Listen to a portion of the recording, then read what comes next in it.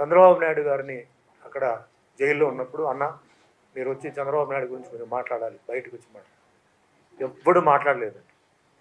ఏ ఒక్కరు మాట్లాడలేదు. ఇదే ఫిలిం ఛాంబర్ కింద నేను జైహింద్ గౌడ్ గారు మాని విగ్రహం దగ్గర. ఎన్టీ రామారావు విగ్రహం దగ్గరికి వెళ్ళిపోయి అంటే మీరు మాట్లాడతారా? అన్నారు. ఏంటి మాట నేను మాట్లాడతానే నాకేంటి భయం నాకు. ఏం జరుగుతుంది? జరిగేది జరుగుతుంది అన్ని చూసి వచ్చిన మనిషి పద అని చెప్పి చంద్రబాబు నాయుడు గారిని అరెస్ట్ చేసింది తప్పు. ఆయన ఏజ్ ఆయన ఇమేజ్ ఎలాంటి ఒక వ్యక్తి ఆయన ఓకే ఆయన మీద తప్పుంటే ఈ పార్టీకి మీరు ఆయన బెయిల్ ఇవ్వాలి. ఎందుకు ఆయనకి ఛార్జ్షీట్ వేయలేదు? ఛార్జ్షీట్ టైం పడుతుందా? ఎఫ్ఐఆర్ కదా వేయండి. తొందరగా రిలీజ్ చేయండి. ఆయన అలా చేయకూడదు. తప్పు. ఆయన రిలీజ్ చేయాలని చెప్పేసి నేను జయంత్ గౌడ్ గారు మేము ధైర్యంగా మాట్లాడుతున్నాం. అదే మాదిరిగా అదే మాదిరిగా ఈరోజు డిప్యూటీ సీఎం పవన్ కళ్యాణ్ గారి గురించి జగన్మోహన్ రెడ్డి గారు సీఎంగా ఉన్నప్పుడు ఆయన ఆయనకి ముగ్గురు పెళ్ళాలు. ఆయన ఏం చేస్తాడు పరిపాలన? ఆయనకి ఏం తెలుసు అన్నప్పుడు నేను మూడు ఉంటాయి ముప్పై ఉంటాయి నీకేంటి? అది వాళ్ళ కష్టం. ఆన్ రికార్డు ఉంది ఆన్ రికార్డులో ఉంది. ధైర్యంగా చెప్పాను. అది వాళ్ళ ఇష్టం. వాళ్ళు ఎవరినో వచ్చి మీకు కంప్లైంట్ చేశారా? ఇబ్బంది పెట్టి కంప్లైంట్ చేశారా? వాళ్ళ ఇష్టం. పర్సనల్ మ్యాటర్ మట్టుకి మీరు జోక్యం చేసుకోవద్దు. మీ పార్టీ గురించి చెప్పండి మీ పాలసీ గురించి చెప్పండి అని ధైర్యంగా చెప్పాను. అదే మాదిరిగా రజనీకాంత్ గారి గురించి అక్కడ అప్పుడు మినిస్టర్ రాణి గారు మినిస్టర్ రోజా గారు చెప్తే రజనీకాంత్ గారి గురించి నాకు తెలుసు.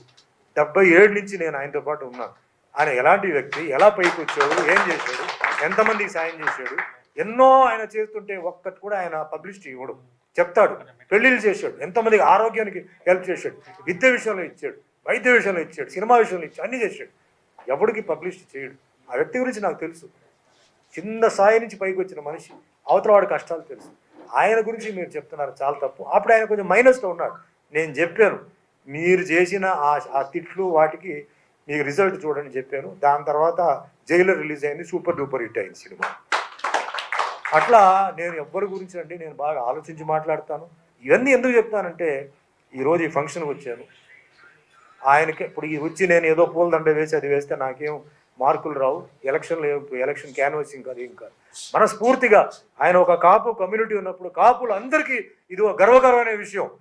ఆయన కమ్యూనిటీ వాళ్ళ కమ్యూనిటీ నుంచి ఒక మనిషి ఇంత దూరం సాధించారని చెప్పి నేను చెప్పడానికి వచ్చాను. హింద్ గౌడ్ గారు కూడా నేను చెప్తాను కదా ఆయనకు ఉంది ఆ ఫీలింగ్ కానీ ఆయన ఒక కాపు కమ్యూనిటీ ఉన్నప్పుడు కూడా లేదు. కళాకారుడుగా ఆయన అలాగే తొక్కేశారు. మన అది బయట తీసుకురావాలని చెప్పి ఆయన ఎంతో తపనతో మాట్లాడి ఇప్పుడు చేంబర్ వాళ్ళు మన ప్రెసిడెంట్తో వైస్ ప్రెసిడెంట్ అందరితో మాట్లాడి ఒక ఫోటో ఇక్కడ పెట్టాలని చెప్పి చాలా గర్వకరమైన విషయం అండి. మన తెలంగాణ మనిషి ఒక అంత పెద్ద స్థాయి సాధించడం. చాలా గర్వకరమైన ఒక విషయం. ఆ విధంగా జై హింద్ గౌడ్ గారు మరి ఈరోజు ఎంతోమంది వచ్చిన శ్రావణులందరికీ మనస్ఫూర్తిగా నేను ధన్యవాదాలు చెప్తున్నాను. నేను కొంచెం బయటికి వెళ్ళాలి కాబట్టి మీరేం అనుకోవద్దు. నేను కొంచెం అంటే మూడు ప్రోగ్రామ్ చేసి మళ్ళీ నైట్ బ్యాంక్ నేను కొంచెం తక్కువగా మాట్లాడుతున్నాను. కానీ కొంచెం తొందరగా వెళ్తున్నాను. సెలవు తీసుకుంటున్నాను. జై తెలంగాణ. అలాగే.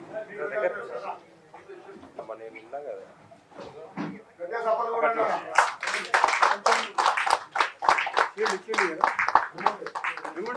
చప్పట్లు గారు